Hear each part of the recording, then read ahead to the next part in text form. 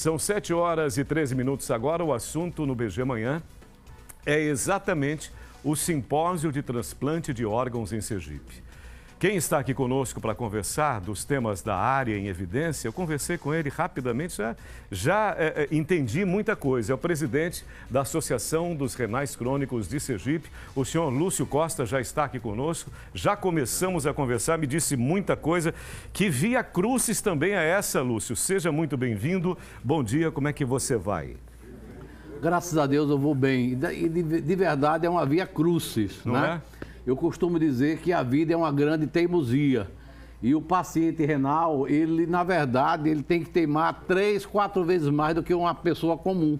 Porque tudo conspira para a morte do paciente renal. Eu, eu, eu me debrucei ontem, é, num documento que você enviou para o nosso diretor, Pedro Carregoça. Eu passei a tarde inteira ontem, eu vou te confessar, muito triste eu não sei se eu estou mais triste que indignado, eu não sei se eu estou mais indignado que revoltado, mas que tratamento é esse? Com seres humanos, com pagadores de impostos, com cidadãos e cidadãs que precisam do que é justo, Luz. Sim. Você só está exigindo o que é justo. Sim. Não está pedindo nada, não é caridade nenhuma, não é benevolência nenhuma, não. Só exigindo o que é direito. Traça esse quadro para nós, como é que está isso hoje? A sua indignação, ela é justa porque a gente, quando você vê um problema que não tem solução, você até se conforma. Mas quando você vai estudar a fundo o problema e você acha, você descobre que tem solução e que as coisas não acontecem porque falta vontade política, aí gera essa indignação que você está tendo aí, essa indignação santa, justa, porque é inadmissível que as pessoas estejam morrendo porque falta assistência. Falta assistência, por exemplo, para as crianças. Uma criança que nascer hoje no estado de Sergipe com doença renal, ela está condenada à morte porque não tem tratamento para essas crianças. Nós começamos a discutir isso com o Ministério Público há cerca de dois, três meses e foi startado um processo para que o Estado se capacite para atender as crianças com doença renal crônica. Nós não temos nem estatística, porque muitas morrem sem o diagnóstico. Agora, me diz o seguinte, Lúcio, é, até de maneira didática, eu sempre falo isso, é importante para o nosso telespectador entender como é a rotina desse paciente. Eu te contei que eu estudei também um mestrado ontem, falando exatamente sobre os estágios do estresse, né, é, é, é, da exaustão e até ao, ao, desânimo. Como é que essa pessoa se sente? Como é a vida dessa pessoa? É, a pessoa se isola, a pessoa não tem prazer em viver, a pessoa é, se restringe em atividade física, social, uma coisa impressionante. Conta para nós. Se eu fosse resumir tudo que Isso. você está colocando aí, eu diria o seguinte: o paciente renal que faz a hemodiálise, que faz diálise peritoneal, ele chega para fazer a hemodiálise quase morto para sair morto. É dia sim, dia não. Ele tem que descansar no outro dia, porque no outro dia alternado ele deverá voltar à máquina. Tudo que você está colocando aí é uma verdade. A maioria dos pacientes começam com o tratamento dialítico já no último estágio da doença, no estágio terminal, quando já não tem mais jeito. Ele tem que fazer hemodiálise, porque senão ele morre. O rim já parou ou está funcionando abaixo da capacidade. Então, o que é que acontece? Esse paciente é acometido por uma série de problemas graves, inclusive o comprometimento psicológico. Sim. Não é raro os pacientes quererem se suicidar, quererem desistir do tratamento, porque o tratamento é duro. E o que é que acontece com ele? Ele fica à margem de todo o processo social ele não tem vida social porque ele está muito cansado. Uns desenvolvem o, o hiperparatireoidismo secundário, que é o aumento do PTH, que provoca deformações. Uns ficam com aspecto de chimpanzé, porque essa parte daqui desce.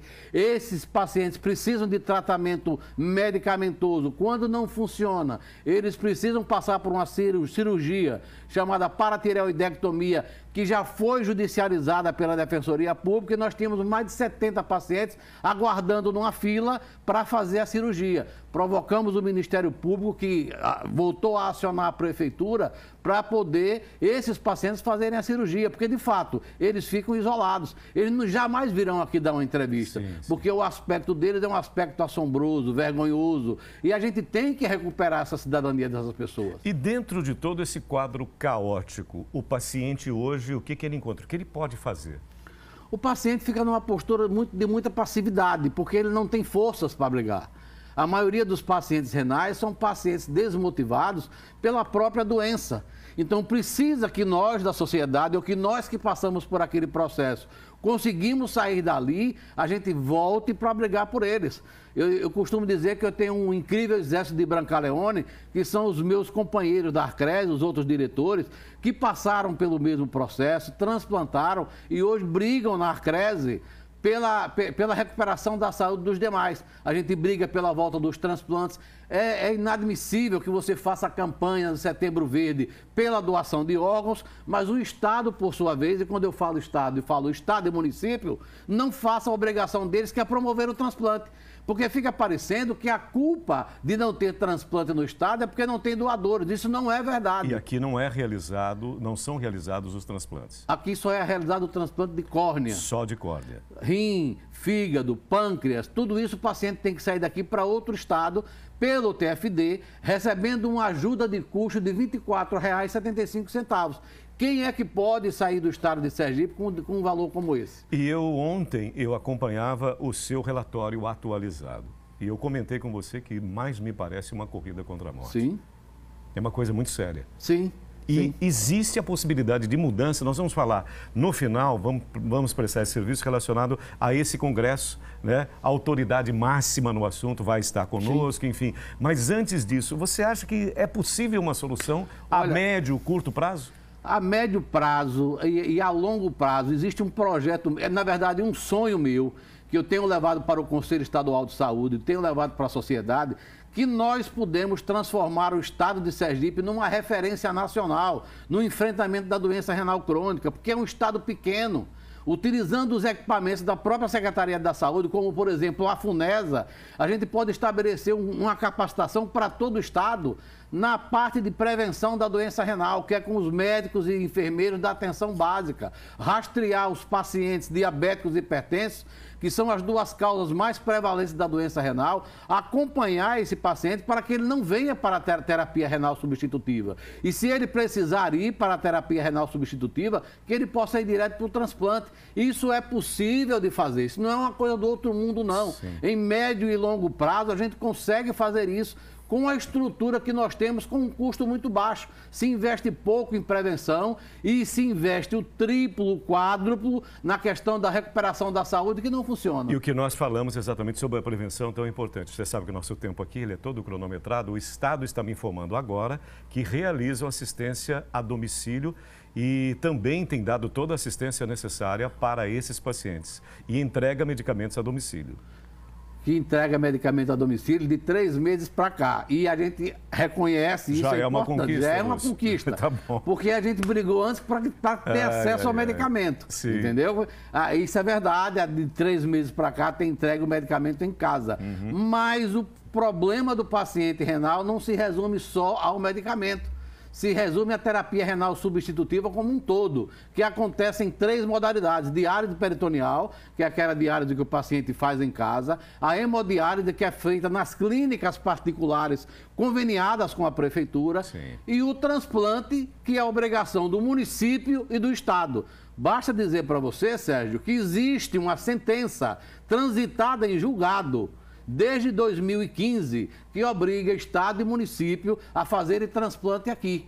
E se o Estado quer mesmo fazer o transplante aqui, deixe de estar entrando com chicana jurídica, deixe de estar recorrendo continuamente, porque quando ele recorre, morre uma, uma centena de pacientes na máquina sem assistência. Então, se ele quer de fato fazer o, o, a, o tratamento do paciente renal, ele contemple com o transplante. Pela gravidade do tema, eu passaria duas horas conversando aqui com o nosso prezado Lúcio, mas vamos falar rapidamente para a gente fechar do congresso que é tão importante, Lúcio. O simpósio nós estamos trazendo para o estado de Sergipe o idealizador do projeto Transplante Sem Fronteiras, é o doutor Marcelo Perosa. Uhum. Doutor Marcelo Perosa é referência internacional em transplante de rim fígado e pâncreas. Você imagine que nós somos renais e estamos brigando por esses três órgãos. Por quê? Porque o que a gente puder fazer para melhorar a saúde, a gente vai estar fazendo. Uhum. O doutor Marcelo Perosa tem esse trabalho, o Transplante Sem Fronteiras, é um projeto formatado para os estados que não têm transplante na sua grade de serviços oferecida à população. Eles vêm para o estado, treina toda a equipe médica, re realiza 40 transplantes por ano, implanta o prontuário eletrônico, que de qualquer lugar do mundo o médico acessa o meu prontuário e aí faz os trans treina, transfere tecnologia para o estado e você monta aqui uhum. o, o serviço de transplante aqui. O congresso acontece? Dia 27. 27 agora. No auditório da Faculdade Estácio de Sá. Na Estácio. A partir das 14 horas. 14 horas. É, com o doutor Marcelo Perosa, com a professora Viviane Fernandes do projeto do ACE vai trazer uma palestra sobre a qualidade de vida do renal crônico. Uhum. Vai haver uma palestra do enfermeiro especialista Benito Fernandes, que é o coordenador da Central de Transplante. Ele vai falar sobre a, a situação dos transplantes no Brasil e em Sergipe. Vai haver uma palestra minha chamada Circo de Horrores que eu vou tentar mostrar o que é essa realidade que ninguém mostra, mas uhum. que a uhum. gente conhece profundamente, e a palestra do doutor Marcelo sobre o transplante sem fronteiras. Estarei lá. Lúcio, um forte abraço para você. Circo de Horrores, Isso. que a gente acabe com essa triste cena. Sim, sim. Um abraço para você, um ótimo dia e muito obrigado.